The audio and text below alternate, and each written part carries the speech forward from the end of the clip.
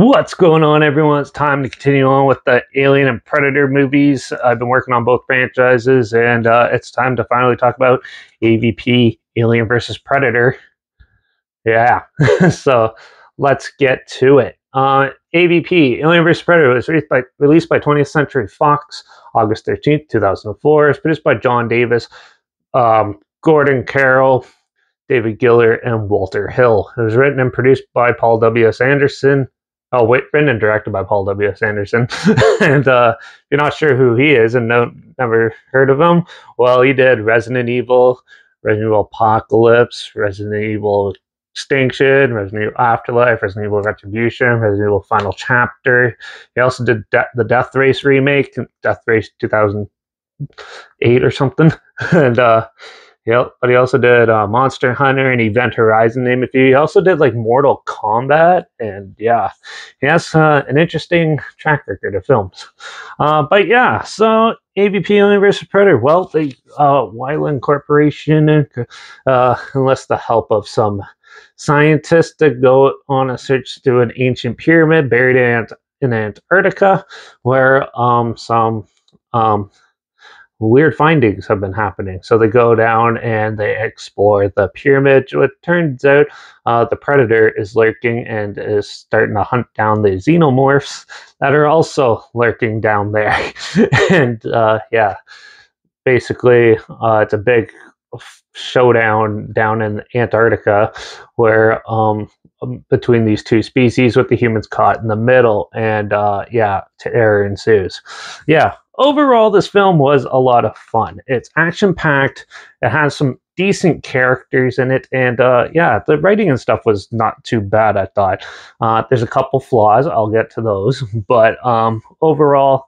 Um, I thought I really enjoyed the fight sequences. You definitely see the alien and predator face each other a lot, and that's always a good thing. And uh, yeah, the humans are basically there to like for jump scare purposes and to uh, carry the story a bit. But for the most part, they give you what you want. It's you want to see the xenomorphs face predator, and that's what you get. It's good. It's the it's not too dark. You can see it, and it's perfectly um, well done. There's some really good choreographed fight scenes. Like there's the first main fight scene with the Alien and Predator. It's pretty much all done practically.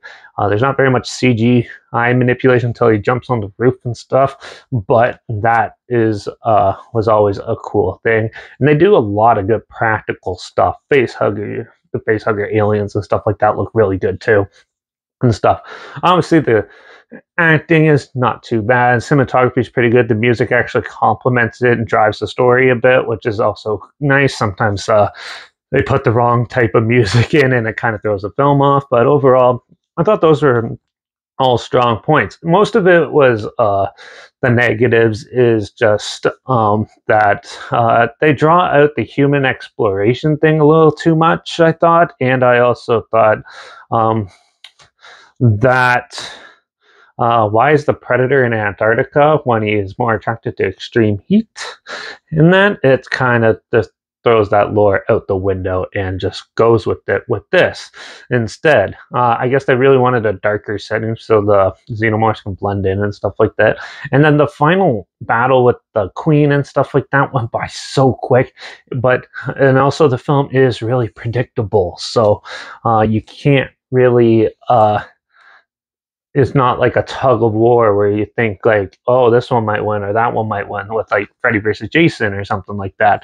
This one, uh, you can clearly tell who's going to win and stuff, but also it's kind of throws you off because um, it's not in the correct like area it should be held in. I thought, but overall, I thought this film was pretty well done for what it is. Uh, it's turn off your brain and watch two monsters kill each other type of movie. It was fun, and uh, you get a lot of good. They balanced out pretty well. So overall, I'm going to give Alien versus Predator AVP a three and a half out of five. I thought it was good. It's by no means perfect or anything, but still, for what they had, it's a decent enough film. And uh, yeah, so yeah got that one out of the way. I still got to do the sequel to it though. So yeah, that will be in the next review. So make sure you ring that bell. But yeah, that's it for this one. Uh, yeah, if you want to check it out or relive it, I'll link the trailer at least down below so you can check that out. But also make sure you check out my Instagram. That's linked down below. That's where I always post clips of films I'm going to review in the future. All my stories have the film time, my hashtag, the subject, and film and hashtags, you're aware of it. Also, my letterbox is down below, date reviews. That's where I post my first star rating right after watching the films. And also my Twitter's down below, reviews underscore Derek. So follow me on those platforms. Stay in loop with this channel. Like this video. Share it some more people aware of it. Comment your opinions of the film down below if you have any. And let me know what your favorite Alien and Predator films are, if you have any as well.